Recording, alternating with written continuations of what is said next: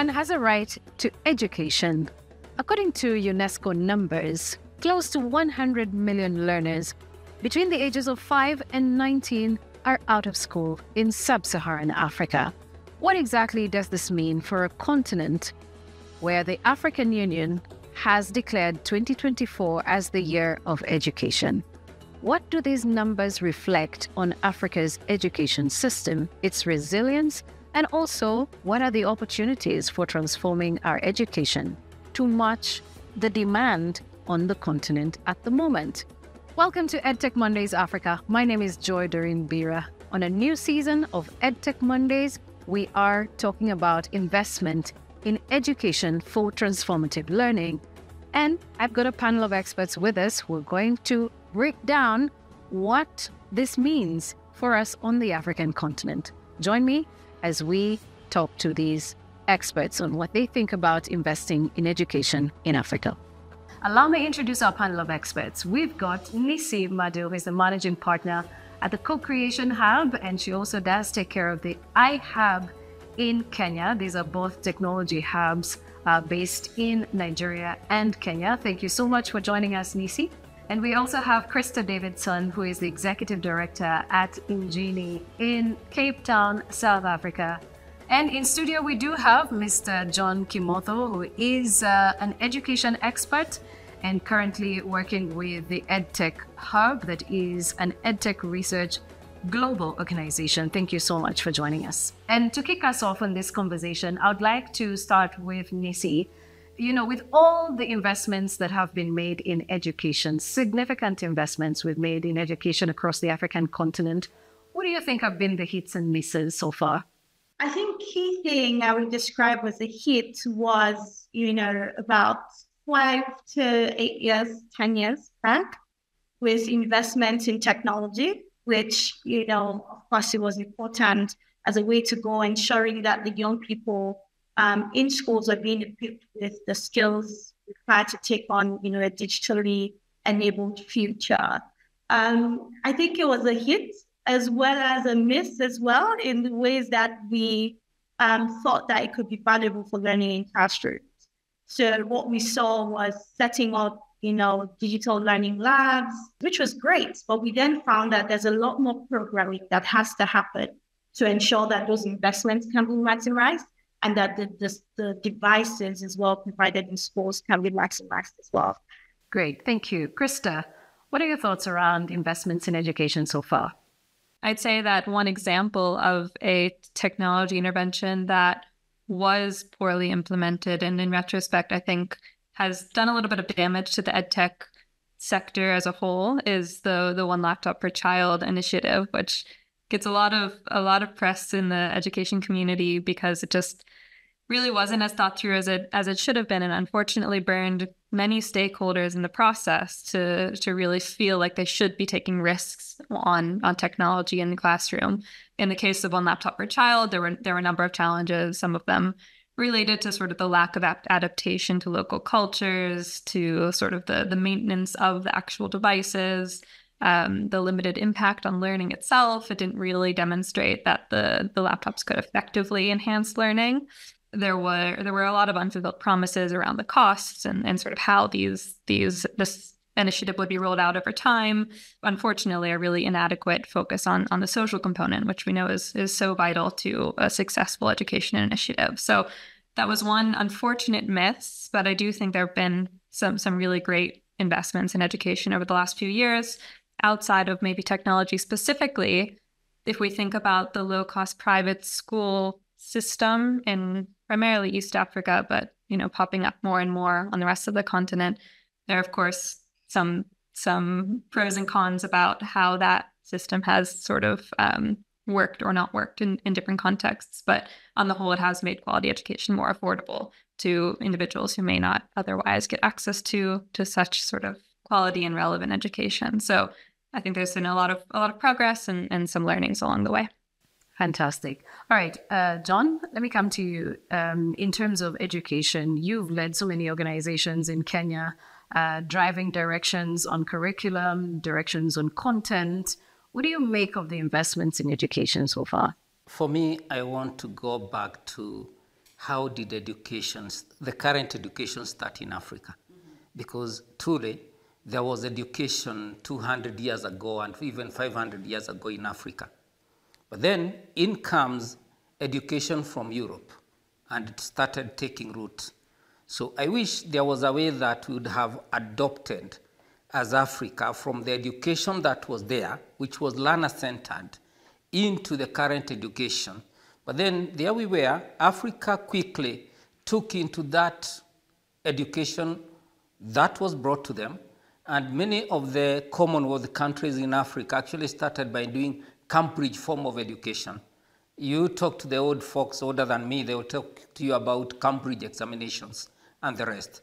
And then you can see there were good hits because there was successful transition from that which was learner centered. But then here came an education that had a certain curriculum and a certain way of, that all of us must learn. And Africa was able to get into that. And you can imagine the kind of hits that Africa had to do. Infrastructure, classrooms, they were news to them. Teachers, they were news to them. They had instructors and mentors. And then all that came in, and it was successful. But there are also some misses in how are we doing the investment. Were we doing it with a focus?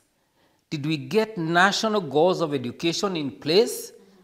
And we kept on catching up on what are we missing, then bringing it on board.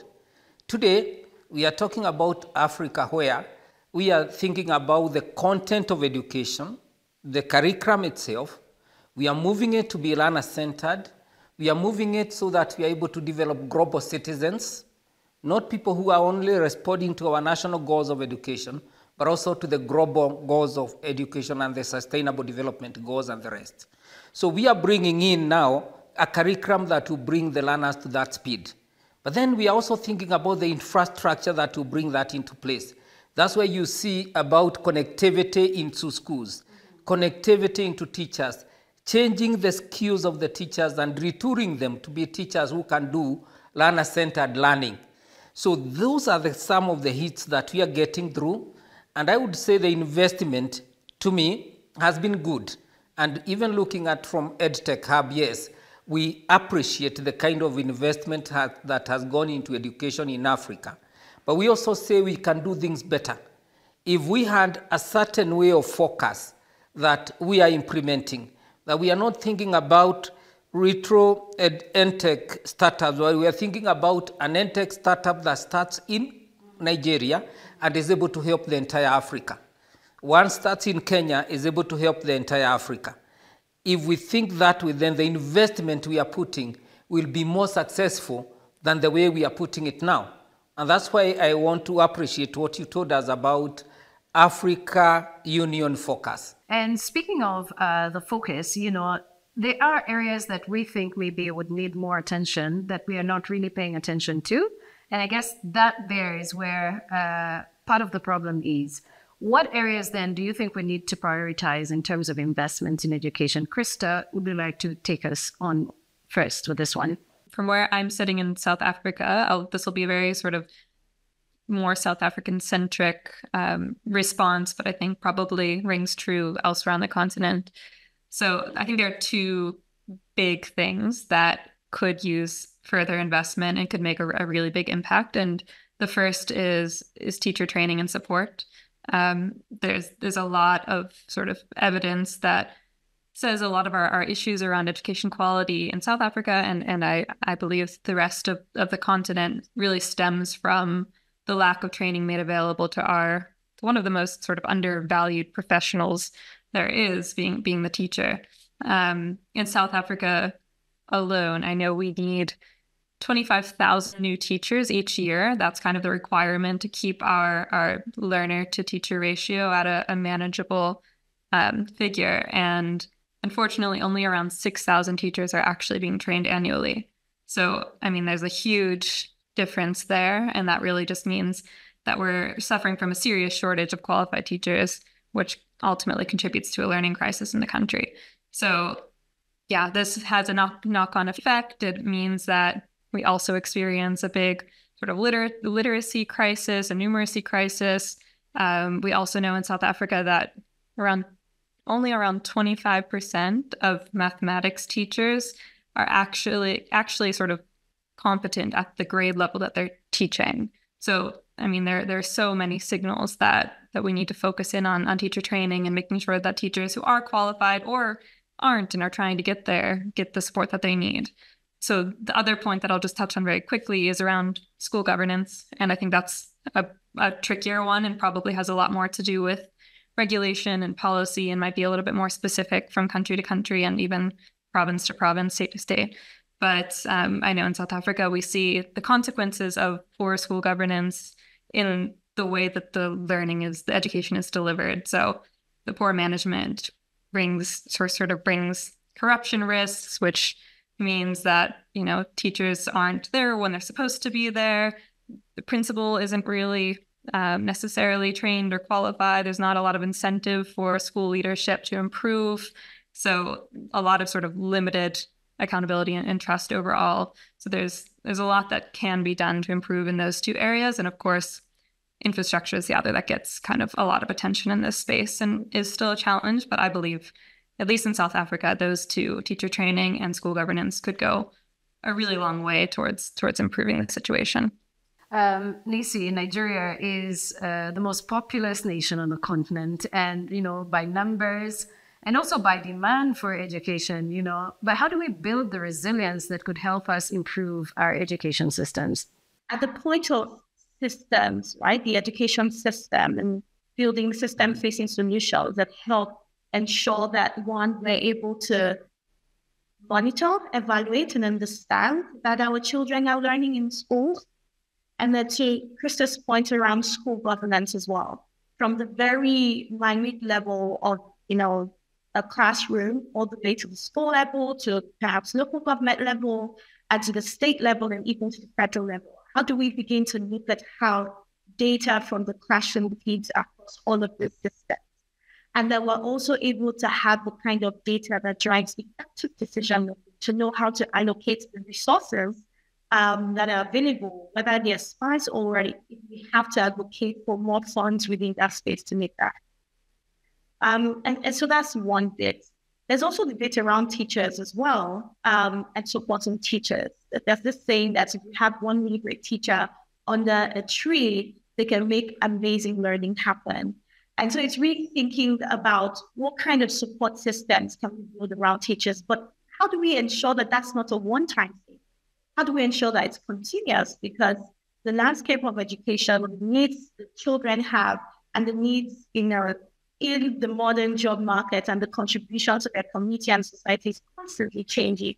And right on the back of that as well, to my last point, is around equipping our young people. So they've gone through primary school, gone through secondary school, perhaps in some situations gone through tertiary education. But how do we equip them with skills that will need to thrive and be able to contribute, um, you know, to the community and to the society at large. And so there are opportunities around how do we strengthen in terms of what we said the resilient systems, how do we strengthen our teammates? Right, because we know now that not all young people are going to go through tertiary education. Are we strengthening that? And we strengthen that is ties closely to infrastructure. It's not just training them, but also providing the opportunity and the tools and resources they need to be able to start up their own business. Great, thank you. And I think actually you touched on something uh, that we were going to also highlight in terms of the momentum that we are building. You know, is this momentum sufficient for us to be able to prepare young people for future jobs? But we'll be coming to that in just a moment. Uh, Mr. Kimotho, let me hear your thoughts around this. Um, the resilience of our education systems, can they withstand? what anyone will call global education standards. Education has a product, and this product is the learner who is going to graduate through that education system. And that's the person we are looking at a holistic person who will also be resilient in a dynamic world that will be changing. Because the world is changing. Um, if I had time, I would go to the engineerings of how the changes come about. But here we are, we are looking at content that will prepare this product so that eventually the product is able to withstand the changes and is going to be a global product. A product that is able to work like the way Nissi is working in Nigeria and Kenya at the same time and all that. So this product then we are thinking about the content and how we are going to align it to the jobs that are there and the jobs that are going to come and jobs we don't even know. Now, for that to be delivered, we come to what uh, our colleague from South Africa was talking about, starting discussing about the teachers, that they must be skilled enough for this learner-centered learning process because all learners have the potential.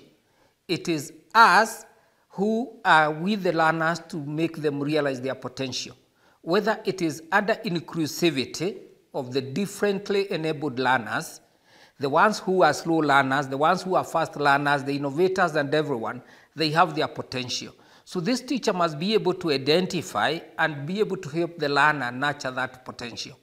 So those are two elements, the content and then the teacher. And then look at that environment of delivering that content. And that's where the, our investment comes in. Is it the classroom or is it technology based and the rest? In order for this system to be resilient, in some tables that I sit in about EdTech experts, we thought that it is actually the technology that will bring resilient education. But sooner than later, we realized it's actually the digital skills that are number one. And therefore, gap number one is digital skills. What are these frameworks that countries in Africa can be able to see that are contextualized to Africa to know that the technology you have is the best, but you can go to a better one? And then to be able, after contextualizing that, ensure that they are digital skills, and then move those skills to have the resilient education. So it's a journey that has to be systematic, well organized, so that each and every investment gets its value. I like that. Each and every investment gets its value. And of course, we've also seen a significant amount of funds that have been put into, uh, you know, edtech ventures across the African continent. Are we content at the solutions that we are seeing coming out of these um, ventures Afrocentric enough to drive the focus to education in Africa getting better and getting to global standards? I think I want to start with uh, John on this one, and then we'll go around to Krista and, and then to Nissi. Yes, John. The investments are good. Uh, we, we can actually say we can celebrate this good investment in education, both by the governments themselves. And I want to say, even when we say it's under 20%, it's still a sacrifice to be able to put that amount of investment into education. Last year, I was in Innovations Africa, and over 40 countries were there. And they were all showing commitment, and the attitude was good, investing this way. But then we ask ourselves are we really putting in the right way? Are we really matching this up with what we are getting from global partners in education, from other global support from MasterCard Foundation and all those others? I think the best way is to have frameworks that are going to drive. And therefore, the question is is practice ahead of policy? If practice is ahead of policy, then we, the practitioners, need to help the policymakers develop that policy and have a framework that is going to guide us through. So the funding, I would say, is not the problem, but the way the, to journey through, the framework, the map to journey through, the kind of way that you don't have to repeat what another person is doing, that we can be able to merge and bring together, complement the various innovations that are coming through. That is what will help, so that no learner will be left behind, the differently enabled, and all those are able to come through. I like the, the tone that he's set for this particular uh, question as well. Uh, are we are we seeing practice ahead of policy? And also, are we seeing similar innovations all across the board? How do we channel them into um, what exactly they're meant to achieve? Krista, let me hear your thoughts on this. Definitely. If we look at the rate of technological change, I mean, it would be impossible for policy to stay fully up to date with the evolution of, of technology and what that means for the education sector and many other sectors to, to be to be fair. So, so of course, practice is, is ahead of policy And in this case. I I think John is, is is spot on in saying that it is then up to the practitioner to inform that policy, but in turn, it's up to the policymaker to really listen to the practitioner and to engage meaningfully and, and to to hopefully come to some sort of agreement as to what the next best kind of regulatory environment looks like to create this enabling atmosphere for innovation that is ultimately serving our learners. So yeah, I think there are some amazing opportunities in, in EdTech specifically, in education innovation more generally. Um, some have already been sort of demonstrated. I think the the EdTech companies that, that Nissi and I work with in our sort of respective tech hubs are all very much aware of the context in which they're operating in. These are sort of African born innovations that understand the challenges that they're trying to solve for and that's an important part of all of our screening processes when we're looking out for which opportunities we should be supporting with with resources and, and other kind of hands-on mentorship. So very important for sure. It's something that we don't take lightly. Um, and I think some of the the numbers really speak for themselves in terms of the impact that some of those startups are beginning to have on the the learners that they're working with. You know, we can see a positive change in learning outcomes amongst some of these sort of end learners and you know we're trying to to build that set of data more and more as a collective across the sort of edtech fellowship program in partnership with the mastercard foundation so yeah i think i think all of the signs are are positive in that innovation technology can really do a lot of good in the education space um, the regulatory environment needs to sort of get on board as well all right. Um, allow me, um, you know, pose a follow-up question. Here in 2023, you took on a number of innovators or a number of uh, developers as well. Um, tell us about the kind of impact that they had um, last year. So we worked with 12 South African ed tech companies over the course of 2023 with the support of the MasterCard Foundation playing a key role in, in the support that we delivered. And through just the the period that we were working really intensively with these companies, which was you know around seven months, we saw 2.3 million new learners, new South African learners, come onto these platforms, get access to these educational tools. And I mean, reach doesn't necessarily indicate the impact, but it's it's a nice sign that we're doing something right and that learners are are seeing that there's an opportunity here that they can tap into um, and you know the the tools are resonating with them if they're willing to spend their time on an education platform when there's so much competition for their attention. You know if we think about the tiktoks and the instagrams to spare a few minutes of even you know an adult's time is is a big ask. Um, and so so it's really really i think heartwarming to think that these learners are acknowledging the importance of their own education and they're they're getting on board and using these tools for the betterment of their own their own sort of careers ahead.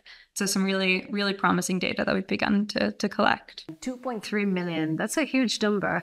Imagine if that kind of investment went across all 55 African countries, the number of learners we'll be able to reach. Uh, Nissi, I want to hear your thoughts as well in terms of the ventures uh, on innovation in Africa, are they Afrocentric enough? What kind of impact are we seeing? Let me hear your thoughts around this.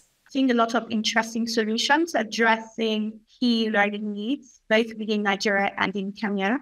Um, for the CcHub implementing the Mastercard Foundation Network program in Nigeria and implementing it as the Hub in Kenya, um, with 24 of the startups we're working with, you know, they were able to reach about 1.3 million new learners um, and to Krista's point as well, it's exciting. It means that something is being done right.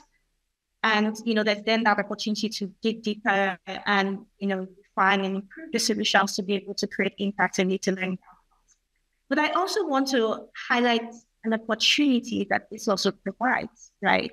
Um, an opportunity for us to deepen the investment coming into education and particularly at on the continent um, that a lot of times these startups are building these solutions, one, to address a need, but also to ensure at the end of the day, business and they need to stay afloat.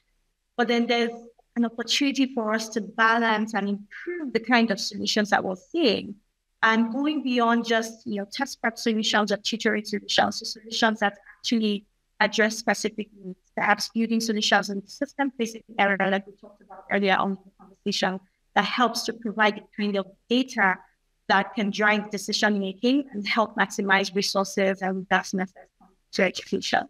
To what Mr. Kimotho was saying about content that is contextualized, you know, focusing on foundational literacy university, whether it's in STEM areas or even at the point of helping young people build the skills that they need.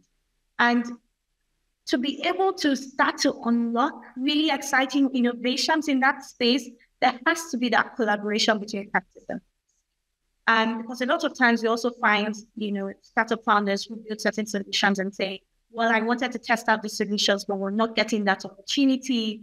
Um, or they assume what, you know, public school systems or government might need. And, and that's where the collaboration needs to happen for us to be able to unlock potential. But we bring all of the critical stakeholders to the room and we can have conversations about the kind of solutions we need but not the solutions alone, but also the use cases. How can we drive adoption for this to to in terms of learning outcomes?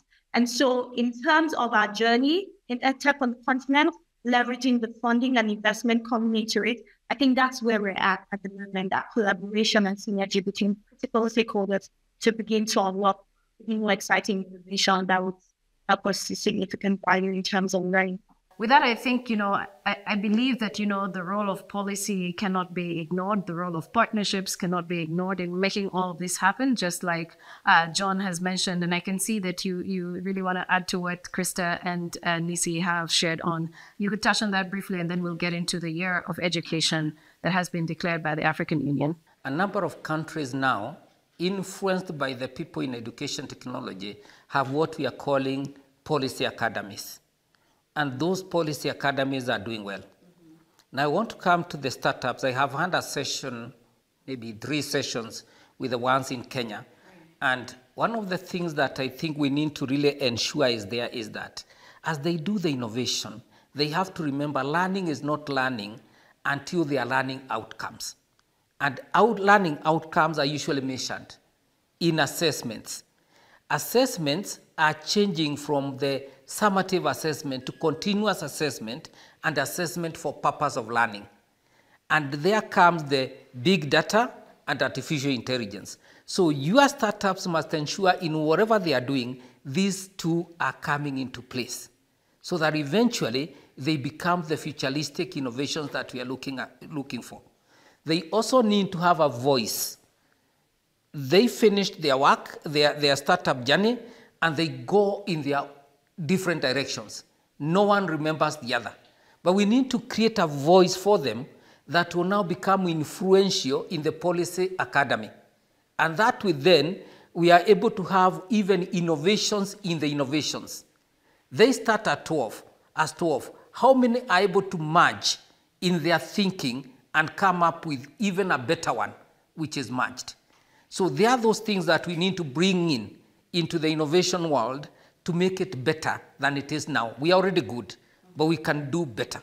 We're already good, but we can do better. And that, that that's the that's the very point I want to even bring in the fact that this is the year of education, or at least according to uh, the African Union. And you know, when the African Union says they've declared 2024 as the year of education, so people will ask, what does that even mean? Uh, does this mean we've not paid attention to education before?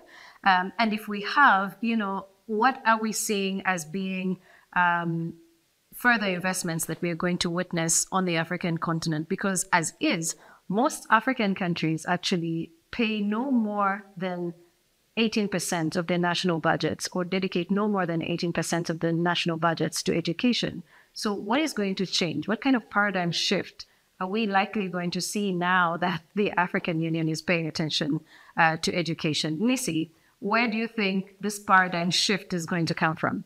it's interesting to have this year become the year of education. Um, I, one thing I do not underestimate is the power of focus and intentionality, especially when you know it's agreed that this is what we're focusing on. So, in terms of paradigm shift or perspective, I think that will change with this focus.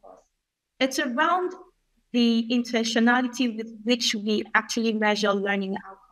So, it's not just enough to say these are the number of education initiatives we're implementing, or these are the number of children we're getting into schools, I mean, we've moved beyond just those numbers and we need to go to more impactful metrics around learning outcomes. So when our children are in the classrooms learning, what are they learning? You know, can they demonstrate that, you know, they have been able to acquire the skills or have been able to acquire this learning? And so that's a, that's a perspective I think that will shift thinking more critically about how we monitor and evaluate the learning um, that happens within classrooms. And perhaps to what Mr. Kimotho was also saying, actually leveraging technology to then be able to help us do that effectively. Into assessment informed instructions to able to ensure mm-hmm. um, assessment based instructions rather to be able to ensure that our teachers in the classrooms are more effective and more productive because we do know a lot of the challenges I would say that plague, you know, education in Africa, whether it's the teacher to student ratio. How do we begin to say when we have that teacher in the classroom, we're able to maximize the teacher's productivity, support them with tools and resources to ensure that learning is actually happening. So for me, it's that we're going to move beyond nice to have metrics to must have metrics that actually help us know that learning is taking place nice to have metrics to must have metrics. Krista, your thoughts? Yeah, I, I agree completely with Nissi. I, I don't think I could have said it better myself. Maybe I'll just add that I, I really hope that this year brings a bit more alignment across stakeholders. I think there is still a mismatch in understanding as to what the key priorities are in individual countries and in provinces and communities from a sort of government level compared to the understanding from you know a citizen or or private sector. And so that results in a mismatch of, of resources that are allocated to those challenges and you know not a whole lot of cohesion in terms of a strategy and, and a way forward. So i hope that this year brings that focus that Nissi was speaking about from a data perspective but also from you know what exactly are we hoping to achieve by the end of this this period what's what's the real goal how are we going to progressively realize the targets that have been set in the sustainable development goals relating to quality education. You know, there are a lot of, of big indicators that that we're interested in improving upon. And by all measures, we're, we're certain we're not very close to to making those targets. So, you know, like what's the priority and how can we get everyone involved who needs to be involved on board and focused on the same things? Right. Um, John, I know you have a lot to say about this one, um, but in terms of where we're at, can we tie that to the fact that we've got a number of vulnerable populations or disadvantaged populations across the African continent? And in line with the African Union's goals for the year 2024, um, do you think that there is a place for partnerships and investments where improving the situation of the most vulnerable learners are concerned. I like the theme of the African Union, and I just hope that it is going to pick at certain thematic areas to be able to address, so that as countries we can ask ourselves, how are our vulnerable learners being treated? Have we paid enough attention to the disadvantaged, to the people who are in conflicts? Have we paid enough attention so that if countries are able to ask that, then there can be conversations and even inter-country exchanges on how we have been able to handle our case, then our neighbor can handle the case the same way or even a better solution to that. That even after we do that, we can go into harmonization of our even educational content so that it becomes easy. If we do harmonization, it means that the regions would be able to support each other and be able to move forward. And then ask ourselves, who are these partners who are partnering with our neighbor? How can we be able to extend that? If we have ways of handling our bright learners in Kenya, in Nigeria, then how can we handle them across? That being the year of education, and if it is able to address that, then it will be very good. I'm just hoping that the year will end up with a resolution of what we thought five years ago of having an Africa education campus. Just like the way you have the online learning campus in the World Bank where you go and find courses. then this we thought the Africa Education Campus would be able to help even policymakers when they come on board. An education, uh, um, a country administration has changed, they are new people, they can go there and take courses that would change their attitude, that would make them understand where are we coming from and where are we going. And that kind of harmony then can make us pull together as Africa, as one, and be able to be even that provider of human resource manpower in the next 10 years because it will be Africa. Indeed, it will be Africa. And, and when we talk about the future, because when we're talking about investment in education, we're not just saying it for a year or two. We're also thinking about, uh, you know, the kind of future that we are likely going to see. Um, the result of this investment will come out or will show up in the kind of youth uh, that will produce ready for the market. But you know, is there sufficient momentum in education that you're seeing happening across uh, learning institutions that could probably even give some sense of direction on the kind of young people we are likely going to see in the future in terms of readying them for the modern job market, John? I think even when you see in a game you play and you are playing very well, then you ask for timeout so that you can be able to see how do I really organize this to a winning game. Yes. I think African Union is also calling us for that timeout to be able to just a moment ask ourselves where are we going? What is this labor that is needed? If we are told that one third of population, young people are in Africa and they'll be the people who will be serving the world in the next 10 years, then what are these skills that we need to prepare early enough? Like we indicated, digital skills. What are these skills that we need to prepare early enough? Are we organized enough in each and every country to prepare our citizens for that? I think that's the timeout to be able to say, let us organize, let's have the frameworks, let us learn from each other, let us be harmonized towards having that skilled human resource that will be able to serve the world from Africa. A skilled human resource that will be able to serve the world from Africa. Krista, uh, I know Nissi had touched on uh, the role of TVETs in making all of this happen, but I want to hear your thoughts around this in terms of the momentum in education to equip Africa's young people for the modern day job market.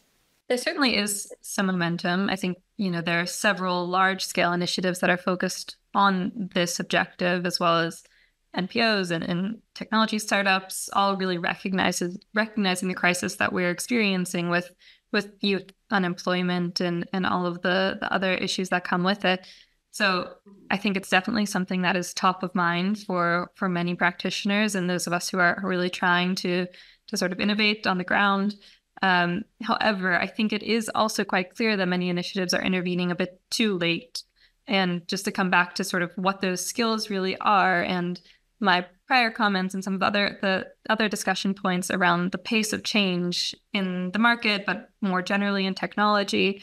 You know, we can't be equipping individuals with skills that are super specific and you know attached to relevant jobs right now we don't know what jobs are going to look like in the next year and you know definitely not in 10 years time so we need to be preparing learners to be adaptable, to be critical thinkers, to be problem solvers, to be prepared to change with technology and to sort of tackle whatever that future looks like. So I think there's just there's a lot of value in equipping learners with transferable skills rather than focusing them in on something like you know a, a, coding language that might be relevant today but obsolete tomorrow so i think there's just something to be said about ensuring that we're not skilling youths based on the realities of today.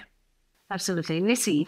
I think for me, the area I want to focus on is um, there's the opportunity with training them around the transferable skills as well as the technical skills.